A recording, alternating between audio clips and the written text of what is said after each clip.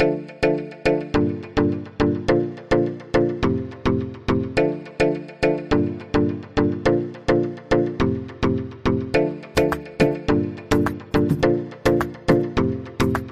Plaza Radio. La Plaza de. Un programa con José Carnau. Una edición más en Plaza Radio de este lugar que ya se está convirtiendo en un foro de reflexión, de opinión, de conocer un poquito más la ciudad, pero sobre todo de conocerla de una manera muy real, muy auténtica y muy humana, que es tal y como la conocen, tal y como la pasean, tal y como la viven algunos de sus protagonistas más ilustres. La plaza de Manuel Toaria, bienvenido. Hola, bien hallado. Pues es un auténtico placer, porque yo creo que eres de los rostros populares, lo que se conoce como divulgador científico. Bueno, yo empecé como hombre del tiempo en televisión española. Esta mañana temprano hablaba con un compañero de allí del Oceanographic y, y me decía, pero tú, tú hacías algo en la tele de joven y tal, mucho más joven que yo. Y dije, pues mira, yo en el 69 entré en televisión española como hombre del tiempo. Tenía entonces unos tiernos 25 añitos. Y en aquella época yo hacía el tiempo por la noche a las 9, en el telediario de las 9, y Mariano Medina lo hacía en el telediario de las 3.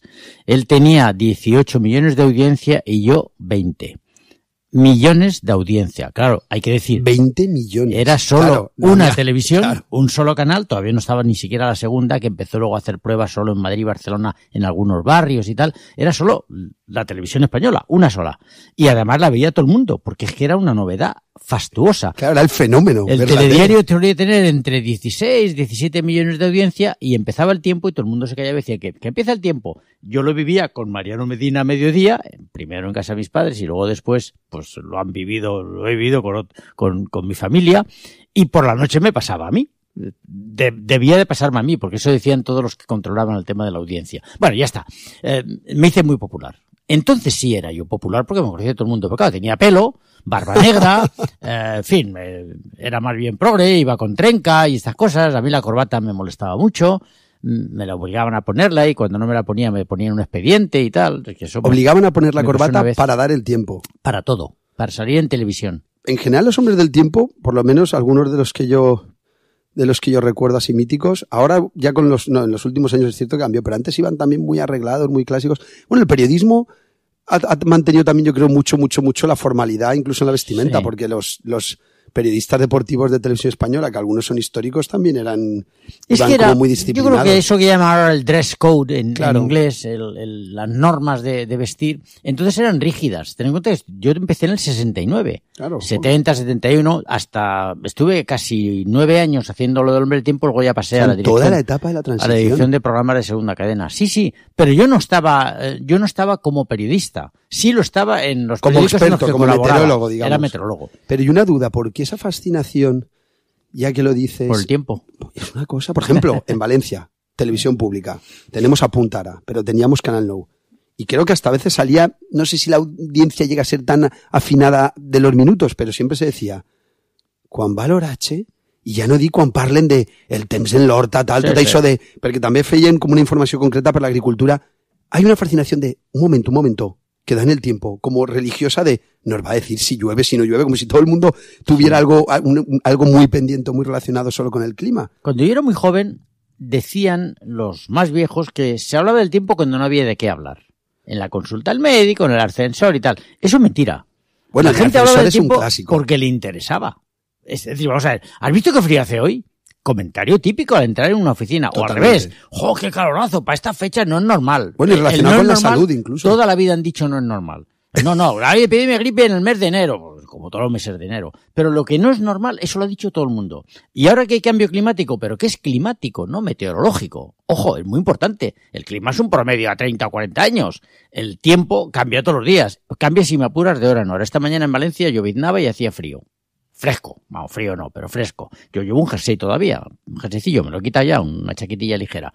Ahora no, yo ahora ya venía andando un ratito y... Es el modelo y- cebolla y- de Valencia, con Bueno, pero- capas. y en todas partes. Es que la primavera es así, pero todo el mundo dice, esto no es normal. Esto no pasaba cuando yo era joven. haciendo- es verdad. Bueno, eso son cosas del tiempo. Yo empecé así y empecé en una época en la que los medios eran mm, yo iba a decirte primitivos, pues casi. Eh, no teníamos, por supuesto, ni satélites ni ordenadores, no existían. Los primeros satélites empezaron a emitir datos eh, en esa época, en los años 70. Es tenemos datos de satélite globales de todo el planeta solo desde hace 40 años. Antes solo había observatorios en algunos sitios muy privilegiados y observatorios en todo el mundo, en tierra, que no en el mar, que ocupa el 71% de la superficie del planeta, pero en tierra, los observatorios completos que dan más de un siglo de datos verificables, relativamente buenos y tal, son muy pocos. Con lo cual, claro, pretender entender cómo ha evolucionado el clima en más de un siglo y pico es, bueno, se puede hacer con Pero esto me está sonando, no, no, quiero que nos vayamos solo a ese tema, aunque iba a entrar por otro, por otra cuestión de actualidad y que, y que tiene mucho sentido, y además con nuestra ciudad. Pero esto me está sonando que yo a veces ese tipo de argumentos, de una manera absolutamente ignorante, no con esta capacidad eh, de análisis y de conocimiento que tienes, pero yo a veces lo, lo, he intentado decir, digo, yo creo que estamos un poco quizá exagerando, dramatizando, porque enseguida decimos, no, estamos en el peor momento, estamos cargándonos todo, y digo, a lo mejor la, la evolución histórica, que efectivamente no ha habido siempre datos ni se ha podido medir, pero en siglos y, y, y en, en, en, millones de años, no sé, igual ha cambiado todo. Ha habido sí, momentos que dicen, no, es normal que durante un periodo X, pongamos tres siglos, suba la temperatura del mar 10 grados y luego en otro periodo, evidentemente aquí no estaremos nadie, en cuatro días, baje 5. Y ahora parece que decimos, no, no, es ahora cuando estamos rompiendo con todo. Bueno, vamos a ver. ¿No tenemos una, decir, un exceso a veces de sensación de, de decir, dominio sobre todo el humano? que eso, eso que acabas de decir te llamará en hereje, negacionista y un montón de cosas. ¿no? Pero a mí me divierte Pero, mucho también nah, ir un poco bueno, contracorriente. Yo, yo, en esto ya soy muy mayor, tengo 75 años. Mira, eh, la realidad es que la población humana en todo el planeta ha crecido solo en la Tierra, que insisto, es el 29% de la superficie, nada más. El planeta Tierra está mal bautizado, es planeta agua. agua. Porque es agua, claro. La Tierra 71% de agua, no es una Tierra. Luego debíamos de llamarlo planeta la agua. La superficie del planeta Tierra, el 71%, 71 es agua. agua. Solo la Tierra emergida 29. Y de ahí, si quitas las montañas, las zonas inhabitables, los desiertos igual, los habitantes del planeta nos, nos agrupamos en apenas un 12 o un 15% de la superficie de todo el globo Qué terrestre. barbaridad. Bueno, ¿y cuántos somos? Bueno, pues mira, a finales del siglo XIX pasamos a mil millones. Desde los romanos habíamos crecido más o menos el doble, 300, 500 millones a mil. En 19 siglos crecimos de 500 a 1000. Y en un siglo hemos crecido de 1000 a 8000. Claro, ¿dónde estamos los 8.000? Pues precisamente en España no. España no tiene, y en Valencia no, tampoco. no tiene mucha densidad de población. Va, Valencia es una ciudad, tiene mucha densidad de población. Bueno, pero bueno compara, somos los puntos, digamos, más densos dentro pero, de lo que es la península. Claro, pero compara con, evidentemente, con China o con la India o con buena parte de África, que está acercándose ya a los mil millones. Pero solo China tiene 1.500. Solo la India tiene 1.400. 1.500 y sepa. toda Europa, que somos 300 y pico. 350 y todo, y Estados, Unidos, China, todo Estados Unidos 350. Estados Unidos y Europa juntos no somos llega... la mitad que China. No económicamente, pero China va poblacionalmente, poblacionalmente, Bien, sí, sí. Este impacto. Esos datos son impactantes. Sí, eh, pero ¿por qué? Pues porque el impacto de cada humano sobre el planeta es inevitable. Pero pues si el no es más duro el de ellos que el nuestro en proporción. No, pero sí, pero por cantidad, pero por impacto, impacto ambiental, el daño que hacemos pero nosotros estamos ahora muy al vivir como ¿no? vivimos, no. No. No. Vamos a hemos llegado a unos grados hasta los yo tengo tener coche una, cuatro basuras. Y he venido desde el Oceanographic hasta el centro de Valencia en coche. Lo no he pasa absolutamente lo nada. No eres un delincuente por eso. No, claro. Pero además uso lo que, y lo que quiere usar todo el mundo si pudiera. Los chinos y los Esa, indios. Vale. esa es la clave. Pero de ¿de este dónde tema. sale el coche? De una industria que consume Que da, genera empleo que y genera mucho sí, pero empleo. que consume energía. Energía no, la energía no se consume, que consume fuentes de energía. Y eh, esta luz que nos alumbra y que nos permite hablar por la red, ¿de dónde sale? Fuentes de energía. Y el que de nos está escuchando desde su móvil, tableta, Vale. también. ¿De dónde sale toda esa energía? Pues mira, eh, del 100% total de energía consumida en el mundo, energía primaria bruta, es decir, ¿de dónde sale? Toda esa energía luego se transforma y tal, ¿no? En mil formas. Pero ¿de dónde sale? 80% de quemar carbón y petróleo. Así de claro. Quemarlo, literalmente. ¿Quemarlo limpio? Pues no. Por desgracia lo quemamos mal. Incluso los coches más sofisticados con depuradoras, con, con catalizadores y con no sé cuántos. Los eléctricos nuevos, modernos tampoco. Los eléctricos eh, hay que fabricar la electricidad. ¿Y Claro. quién la hace? Las centrales, mm, dice, las centrales hidroeléctricas, un 18%. Las nucleares, otro 18%. Carbón y petróleo, la electricidad, 60%. Dice, claro, entonces dice, bueno, espérate, ¿y la otra energía, la de movimiento, que es la otra mitad más o menos, es a 100% petróleo? O derivados del petróleo. Y el coche eléctrico, energía eléctrica generada como energía eléctrica. Bueno, en todo caso, la energía 80% obedece a quemar carbón y petróleo. Eh, el impacto de esos residuos que deja tanto la industria como la mera combustión de carbón y petróleo para obtener energías secundarias, la electricidad, energías terciarias, el movimiento de un coche y tal, energías cuaternarias, transformando muchas cosas en muchas cosas y tal, toda esa energía, eh, ese impacto tiene un impacto sobre el entorno natural. Es inevitable. Además del impacto de la comida y de la bebida. también es un impacto, lo estamos poniendo yo creo a veces ese tema. De hecho, quería comentarlo porque el, el, nuevo gobierno, tanto nacional, pero como el nuevo Consejo, que se ha llegado a un acuerdo recientemente con el Botanic 2, coloca el cambio climático casi en prioridad, le da una vicepresidencia segunda con ese tema a Podemos, pero también hay que, yo creo que la naturaleza un poco se, se rehace, ¿no? Poco a poco, decir. vamos a ver, todo, parece que, nos, parece que cada cosa que hacemos con uno arranca el coche y ese momento mata a 15 ballenas, a 10 pajaritos y a 10 árboles. Hombre, si no, con lo, con lo que consumimos estaría el planeta desierto y habríamos matado todo y no. La naturaleza también es resistente, se rehace.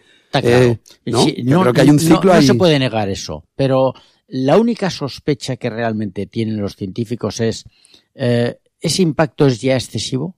Porque el planeta es limitado es evidente. Eh, si nos agrupamos en un 15% de la superficie habitable del planeta, en tierra habitable. Pues Hay mucha más superficie no habitada que tampoco, sí, que digamos resiste. ¿no? no paramos de crecer a 90 o 100 millones de personas cada año, la población mundial. Con lo cual, claro, la cosa empieza a ser preocupante. Ya está.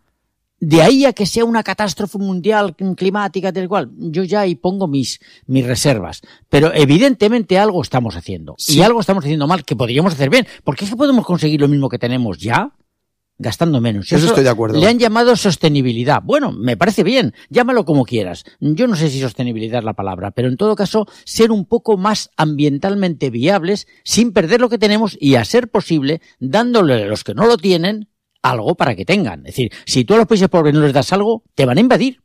Por pura lógica. Por pura lógica, porque quieren comer y vivir como nosotros. Tu siglo XX es Madrid, ¿no? Digamos. O sí, yo, pero siglo XXI llegas a Valencia. Sí, me vine prácticamente. En el 99. ¿Y qué tal? ¿Cómo es Valencia para ti? Para mí es un paraíso.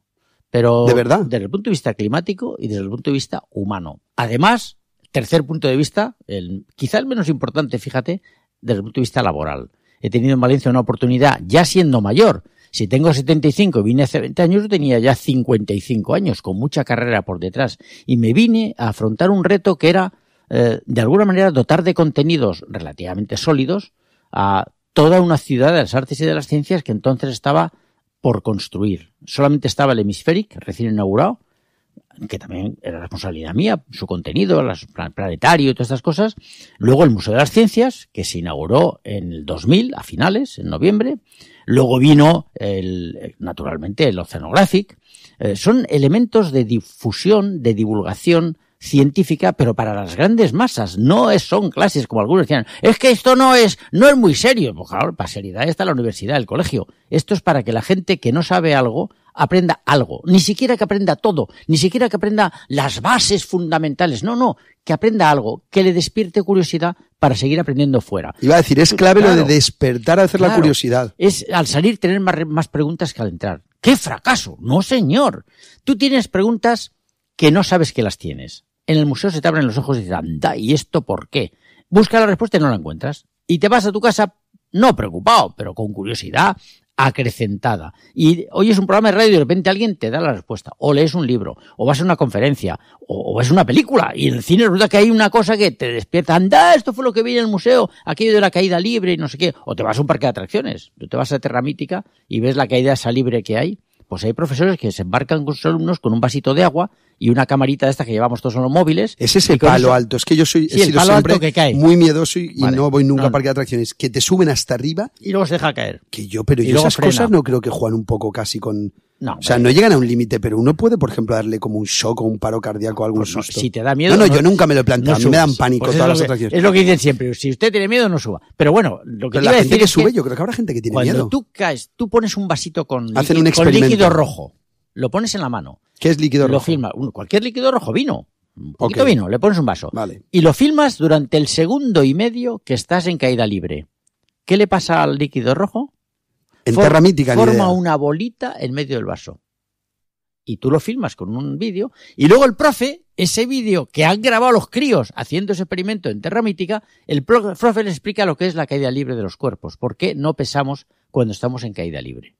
¿Por qué flotan los astronautas en la Estación Espacial Internacional? Dice, pero que estará a 300 kilómetros, tampoco están tan lejos.